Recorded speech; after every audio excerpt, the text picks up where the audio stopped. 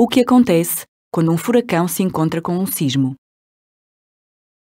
A equipa de cientistas responsável pela descoberta, publicada no Geophysical Research Letters, chama-lhes stormquakes e explica que ocorrem quando um furacão cria na superfície do oceano ondas de grande dimensão que vão aumentando e formando novas ondas a maior profundidade. A interação entre estas ondas secundárias e o leito oceânico produz um tipo específico de pressão que, por sua vez, atua como se fosse um martelo no fundo do oceano.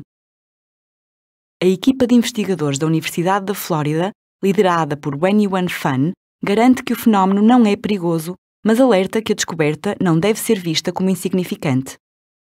Tudo na natureza está interligado. Estes stormquakes podem ter efeitos na natureza que ainda não foram estudados, explica Wen Yuan Fan. Tal como acontece muitas vezes, os stormquakes foram descobertos de forma inesperada.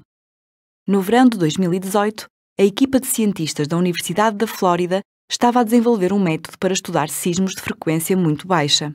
Durante o processo, surgiram uma série de eventos que se assemelhavam aos terremotos procurados pela equipa de cientistas e que ocorreram de forma simultânea com tempestades e furacões. Apesar de este fenómeno ocorrer tendencialmente num contexto geológico muito específico, a equipa do Wen Yuan Fan registrou um número considerável destes stormquakes, cerca de 14 mil, durante o período entre 2006 e 2015.